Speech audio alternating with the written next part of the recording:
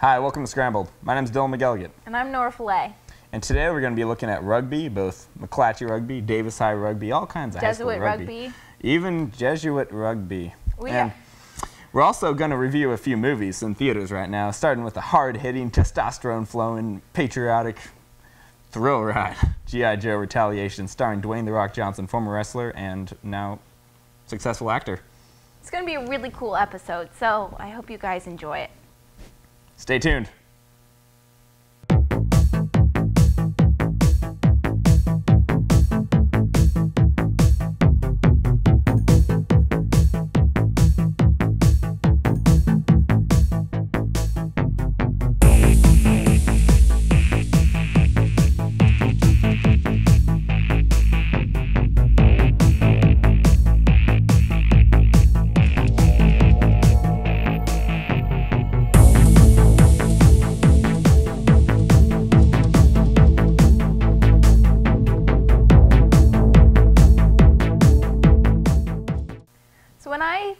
Rugby, I tend to think about the injuries that come along with like those contact sports. So uh, we did an interview with a boy named Beppe, and he goes to McClatchy High School. And during a game versus Jesuit, he was hit and he got a massive concussion on the field, and he also started to have a seizure. So I thought that this would be a good opportunity to ask him about his experience and how, how he views the sport rugby. And while we uncover this brutal gentleman sport, we might just find a few surprises. Let's take a look. Here you go.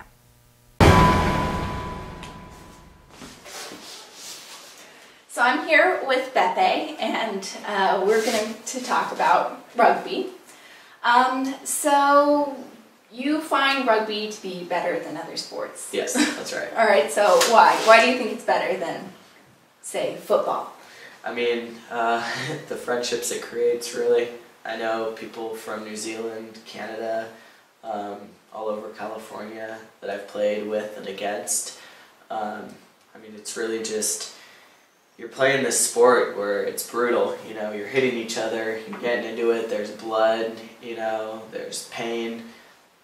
So it really brings people together. Uh, yeah, I mean, I, who it was Shakespeare, I believe, who had the quote, um, "He who sheds his blood with me shall forever be my brother," and that's kind of become um, a rugby quote um, because oftentimes people are sharing blood. You know, you get cut playing, but afterwards, you know, you've had this really intense experience with the other team, and you all gather together. Um, you know, your coaches say a few things. Pick a player of the match who you thought did well for the, both the backs and the forwards, almost like MVP, but for both teams. Then you get up, everyone, uh, you know, they introduce themselves, um, and then the hosting team, um, while they're playing, they're preparing a meal, and you all eat together. The idea is to eat together um, and make a new friend, basically because you're going to end up playing with them at some point, most likely. You know, it's a pretty small, it's growing, but it's still a small community. So a lot of the people you play with, you know, you'll play with in college, or you'll play the, the kid you were just tackling, you'll end up on his team at some point. So, I mean, it really, it, it makes friendships, and there's very much stresses camaraderie um, more than any other sport. I've played the highest level soccer here in America, and after those games, you know, people are still just cussing at each other and, you know, Yeah. wanting to get in fights. Not that kind of Um, friendship. That yeah, I mean, the has. parents even, you know, I, when I was in nationals for soccer, we had a parent from another team throwing rocks at our coach. In rugby, afterwards, you know, the uh, parents meet each other too, and like I've, I mean, I've gotten in a few fights in the game. And afterwards, you know, you're friends with the players. So that's why I say it's better than any other sport. Is because it really it bonds both the teams. It's not my team is better than your team. It's hey, we're playing the sport together. Let's be friends.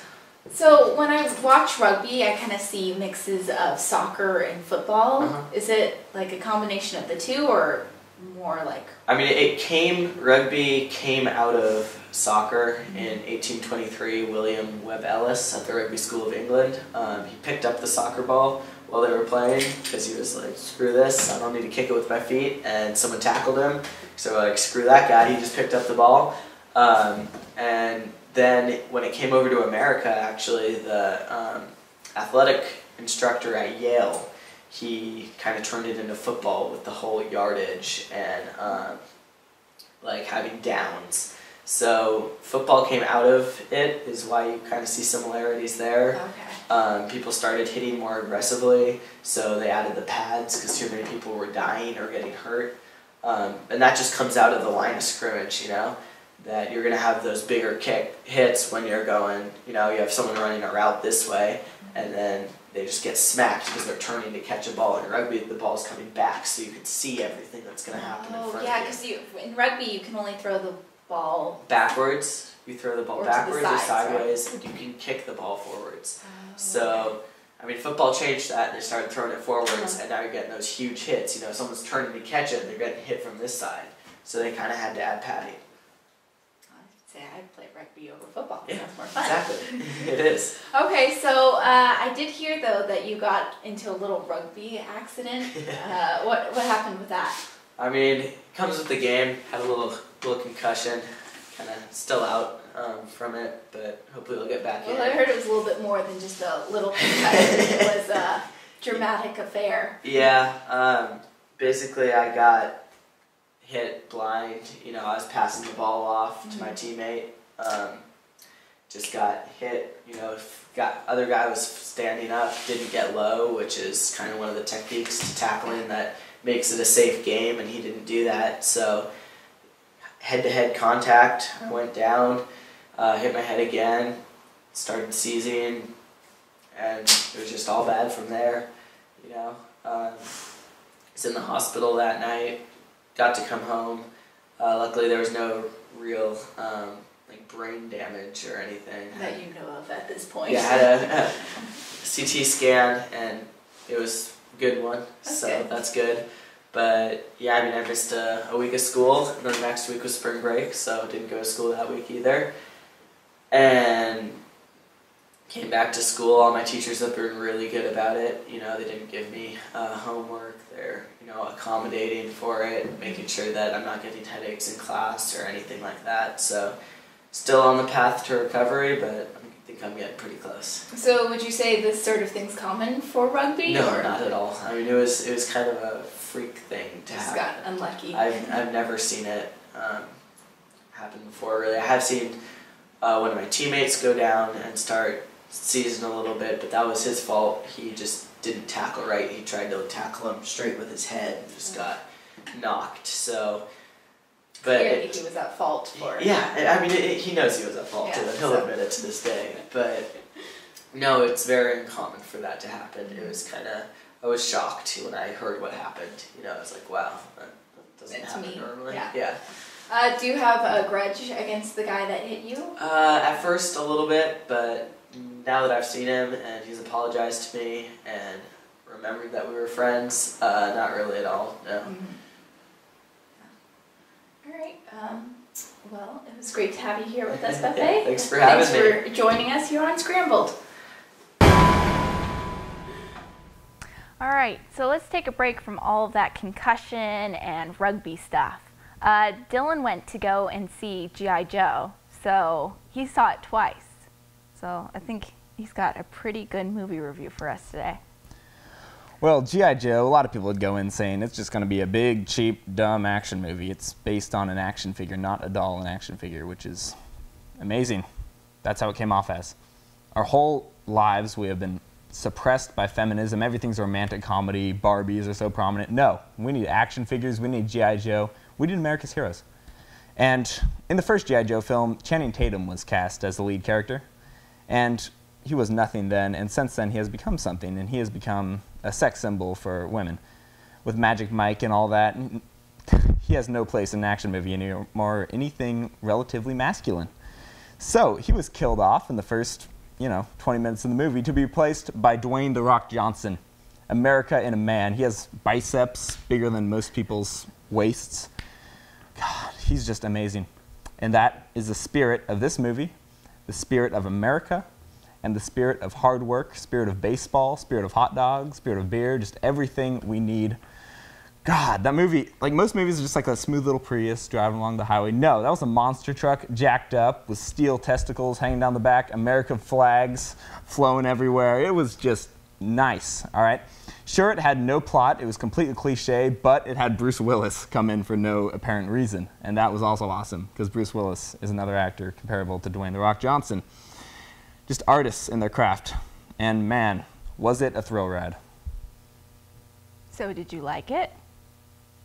Yes, I did, Nora. So, if you compare that movie to, let's say, something like The Godfather, how would it compare? Godfather is all Italian stuff, and I don't know. I didn't really understand it very much. I mean, sure, Coppola gave his best shot, but you cannot compare it with Jon Chu's G.I. Joe Retaliation in theaters now. All right, so let's take a little peek at the trailer.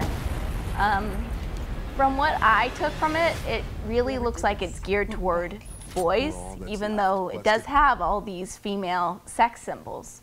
Uh, would you take them as male role models, I guess? Well, that was the one complaint I have about the movie. There was a woman whose entire drive to serve in the armed forces was so her father would salute her and to be taken seriously as a soldier. Now, I think women should just be cast as the sex symbol and not really given that sort of drive because I thought that kind of, you know, provoked feminism. Uh, And I thought it should have just been more Dwayne The Rock Johnson just killing hordes of people.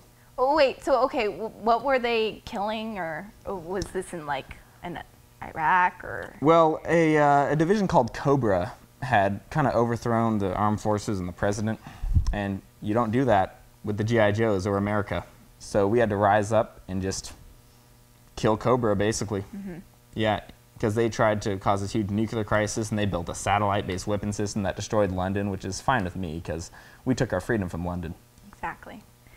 All right. Well, you know, I can't say this is a movie I would rush to and go and see, but apparently, for a male audience, it was attractive.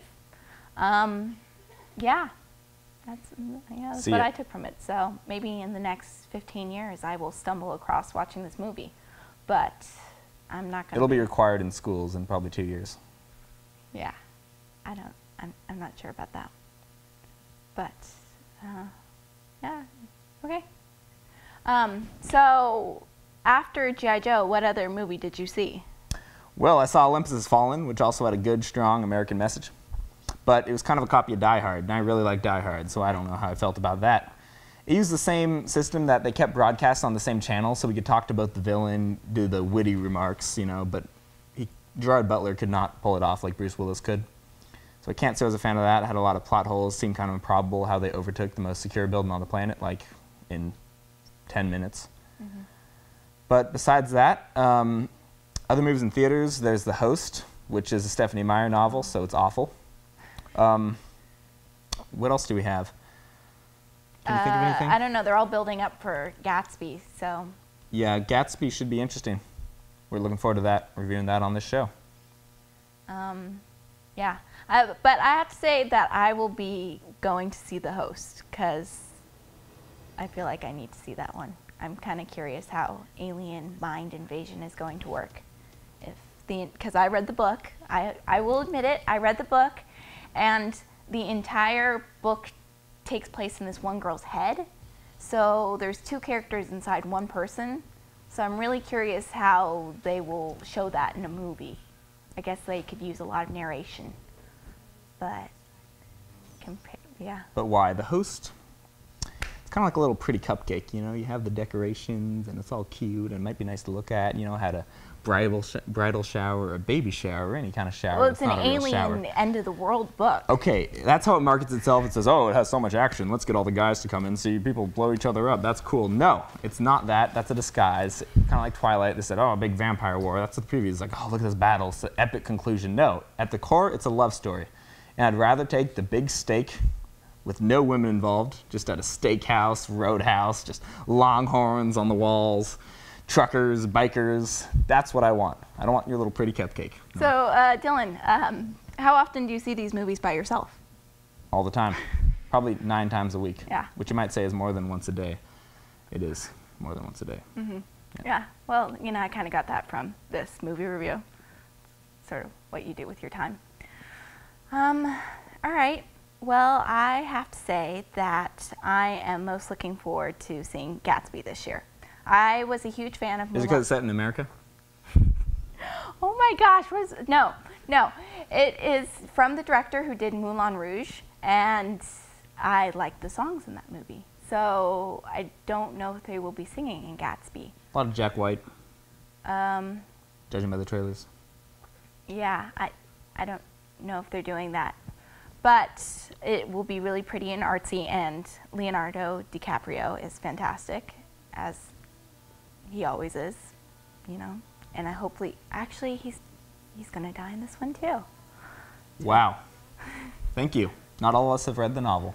Oh, well, you know what? It, it, that is a crime against America if you have not read that American classic. It's a crime against America that you haven't seen G.I. Joe yet or Olympus Has Fallen. Yeah. no. It's like, why don't you just move to France or some other hipster place? I don't know.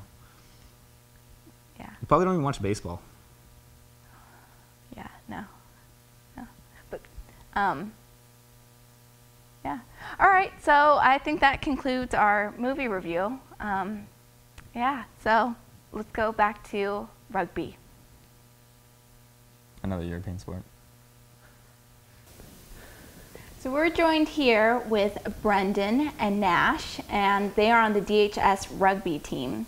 So, actually, excuse me, that was actually the Davis rugby team. You're not a part of DHS. No, we're not. Um, we're basically we're basically a club team that's affiliated with Davis High School, so it's not necessarily a high school sport, but we're in connection with the school. So you're like the middle child of Davis sports, just always neglected. A little bit, yeah, yeah, yeah. We can say that. I'm sorry. Well, uh, first off, can you tell us a little bit about the sport of rugby? Um, I don't know a whole lot about it. I know that in the East, uh, in you know Europe and South Africa specifically, it's really popular. From what I've heard, uh, it originally started at a European or I think it was English boarding school, and it was like a soccer game or something. And some guy picked up the ball, and everyone thought it was brilliant, and so it just kind of took off from there. And now it's just basically popular worldwide, except for the United States. You don't see it as popular, but specifically in South Africa, they have like rugby boarding schools for high schoolers. It's just insane. It's this huge following. All right. Sounds like quite a cultural impact. Yeah. And uh, any injuries? I mean, I've heard about Nash's. How many concussions was that? Uh, I got two concussions in one game. Because uh, I got taken. Like I came down on like the field we were playing on had a bunch of dirt patches in it, and I came down on the side of my head, and I remember blacking out. And then I went to the sideline, and like everyone told me not to go back in, but for some reason I went back in somehow, and I got hit again, and so I got knocked out that time, and I couldn't remember my name or anything. I was. Yeah. And th- they don't have trainers that stop you from going back in after you've obviously suffered a major head injury. Well, Yeah. some, sometimes we do. I mean, at this one, we, it was an away game. Um, normally, when we play home games, we have a trainer there with us. But in this case, we didn't. And uh, I was kind of confused as to why Nash was back in the game. And by the time I realized it, Nash was on the pitch, knocked out. But well, it seems to be a pretty common thing for rugby. I've heard of tons of kids getting concussions. Is it? Do you think it's more common than in, say, football? I, I I, think football's actually worse. I Yeah. got, I got pretty unlucky. Like I usually, I don't know, for some reason in rugby I get unlucky with injuries. Like last year I tore my sternum, so yeah, I don't know, it's kind of random. I think with football, the whole thing is, is we have these helmets on and these pads, so we like think we're protected, and so we accelerate to just way faster than we should be, and we lead with our heads. Where in rugby, it's more protective, so we don't mm-hmm. necessarily try to hit someone with our head.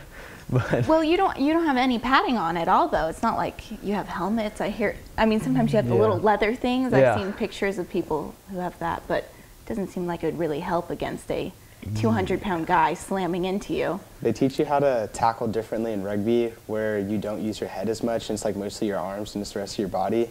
So it helps a lot. yeah, the padding's pretty minimal. I mean, they have you can wear some padding, like you said. The, they're called scrum hats, and they're basically like an inch or so thick, maybe half an inch of just kind of squishy material. And you can wear shoulder pads. Like I wear these little shoulder pads that are basically the same thing, but they provide enough support so that's not necessarily a huge impact, but there's, it's pretty minimal, yeah.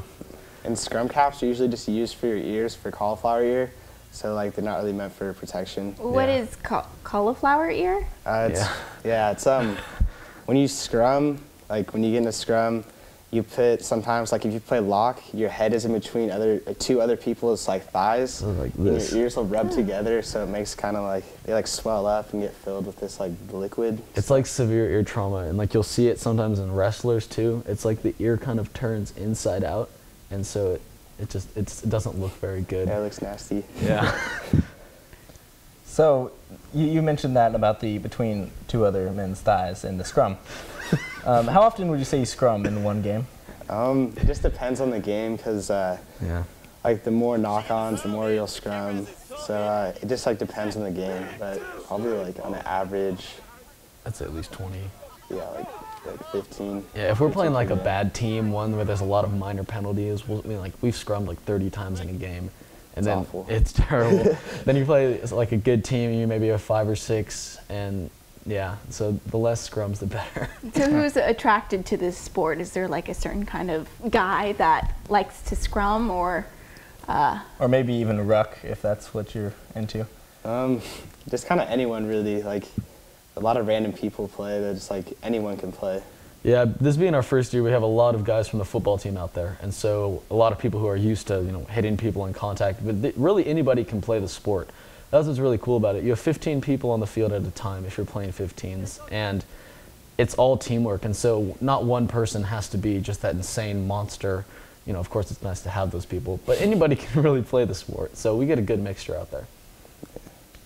And uh, take us through some rugby terminology. Everything is a little switched up from football, which people confuse because they associate the sport with football, because it's America. Yeah. And um, anyways, there's a few terms I was kind of unclear on. A try, Try. example. It's like the equivalent to a football touchdown, and the only difference is that once you get into the try zone, which is like the touchdown or the end zone, you have to put the ball down, and wherever it's placed, you have to kick from that angle. Also, tries are only worth five points, and kicks are worth two. So kicks are worth a lot more, like in relativity in the sport. But you can't attempt a drop goal at any time and score three points, right? Yeah. Yes, it's Yes, it's yeah. like, it's essentially like a field goal, except it's at any time you want to. Okay.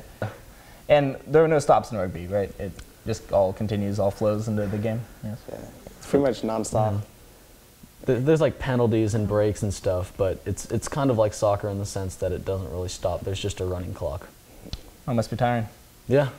I've heard talk about a girls rugby team in Yeah. Davis. Uh, can you share some information about that? Is it the exact same thing or is it different? Same sport, just like really aggressive. I know. Yeah, girls rugby. I mean, I think our girls team's actually pretty good. I'm friends Yeah. with a couple of them, but the girls rugby is just they're they're aggressive people. I mean, they're they're good at what they do and they're nice people, but you know, girls have long hair and nails and it it can just they're physical. Yeah. So I've seen a movie called Invictus. Uh, do you think that's a good portrayal of the sport rugby? I think it glorifies it a lot. Uh, I haven't particularly seen the whole movie actually, so I don't know a ton. But I think from what I've heard about it, it's really just it really resembles how much rugby means to the population in South Africa and all of Africa and Europe. It's just how much you can have a whole country on your back as a national team. At least that's what I can gather from it, and so I think that's really good for the sport. Yeah, it's not really the case in the United States quite yet. Yeah. But maybe someday. So rugby doesn't actually kill racism? I I don't I don't know. It might. It could. I haven't had to come across that situation yet. Oh, well, I thought we found a cure. Well, yeah, it might work. So I want to hear more about this concussion. Are you still playing or? Um, yeah, I actually got cleared to play tomorrow on Monday. So how long were you out for? I was out for three weeks, and I had to do. Um, I took a baseline test, and I had to get back up to my baseline before I got cleared. And I took like these brain steroids. I don't really, I don't even know. They said steroids, but yeah. So um, yeah, that helped a lot, I guess. And now I'm back. Did the brain steroids uh, enhance anything else in your academic life? No, No? unfortunately, no. Oh, that's a shame. well, and how would they test you for concussions to make sure that you're back to Um, the par? They gave me this concussion test, and it has a bunch of questions like, do you have a headache? All these other questions, like dizziness and nausea. And um, after it happened, I couldn't really walk because I kind of had to like help get walk to the car. His parents carried him to the car. Yeah, pretty much. um, yeah, they just said I had all the symptoms of concussion. So, And are you completely back to normal now? yeah, actually, yeah, completely. You guys go ahead. I'm gonna address that. Yeah. So what are, uh, do you have? I've heard that people who have gotten concussions are more likely to get them again. Do you have that fear of playing rugby now that you're more susceptible to another head injury? Uh, not really. I just want to like. I'll probably play a little more careful, but I just want to play because I missed three weeks and yeah. Like for me, I think like I've had concussions before, and I think that if I From rugby or football? Uh, not from rugby, I think, but basically it's just I think if I go out there worried about getting hurt or playing a concussion, it's just going to happen more because I'm not focused. I think if you're going full speed, doing what you're supposed to do, you're not as likely to get an injury. And so I think that uh, if I go out there thinking I'm going to get hurt, then I just it's more prone to happen. Yeah. It's all about mindset. Yeah. Okay. I will now show the audience what the object is. Now I'll show Nash. A car, I think. a car. Another question. Uh, so, uh, the fear of um, concussions in other sports, do you think it's as high uh, Um, compared to rugby? Or is rugby like this sport that you're just going to get hurt in? No, um, rugby really isn't that bad. Um, there's actually more injuries in soccer than rugby, and I feel like football get most injuries. Yeah. Yeah, I just get pretty unlucky. for Rugby for some reason. Yeah, it's. I think rugby is just it gets a bad rap just because there's no pads and there's a lot of collisions, but it's really not as bad. The physicality of it is still there, but it's it's weird to say, but it's a good physicality. It's gentle, gentle hitting. Yeah. At times, it's just the physicality is better because you just after you get hit, you're right back up and moving, and so it's just kind of like a stinger, and you're like, oh, it's fine, and so you feel better. All right, Dylan, are you ready to share your next Yes. test with Nash? The audience will see what it is. Now, Nash, what do you think this is? Nah, I. Oh, I got Nah. this. It's a rugby ball. Uh, what? Okay. Probably the last thing you saw it's before like- you it's- ended. Looks a little like an eye. It's like three dimensional. See, it's like a see-through rugby yeah, ball. It's like a. It's like three bananas yeah. stacked on top of each other. I can. I feel like we see the effects of the concussion. And now we go on to the more abstract part of the test. Jeez. All right. Um, so, for uh, future games, uh, are you hoping to see like a growth in uh, people who want to be a part of the game? Yeah, I mean we're we're coming up to the end of our season now. We've been going since December or so. Yeah, so it's a pretty long season. Oh, yeah, Um, that's long. But we've got yeah, one or two more weeks and then a playoff tournament. And so it's going to be it's going to be good. And we're, we're hoping next year Ah. more people will come out. Yeah, there's probably going to be more interest in the sport because you guys have been doing well, right? Yeah. Yeah. Yeah. Especially for a first year team. It's been uh, it's been nice. We've had lots of support too, so it's good. It's really enjoyable. That's good. All right. We'll now move on to the Rorschach test. Nash, what do you see? Scribbles, Oh. Uh, oh, this you, dots, and some scribbles. Maybe a signature that's kind of weird. I don't know. It's a lamp. Uh, I thought it was a face. I thought It's it like was two a face. eyes right there Yeah, like two nose. eyes, a nose, and an ear. Kind of uh, Picasso-esque. It looks nice. Good. You should frame it.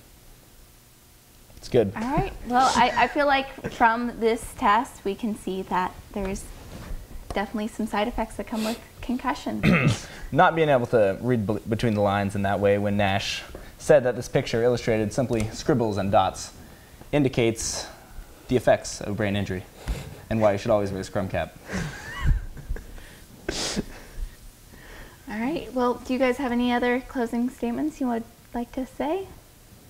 I I just I think rugby's good, and anybody who's out there who wants to play rugby, uh, definitely come out, join the team, try it out next year. I think it'll be great for you, and then it'll definitely be great to have you out there. So that's that's what I think. Want to draw anything? um, All right. Well, don't know what thanks for joining us with Nash, Brendan, Okay. and uh, we will go and see one of their practices. My highlight was scoring my first try in the first game of the season as the third try of our, of our team. That was pretty sweet. That was pretty sweet. That was pretty sweet.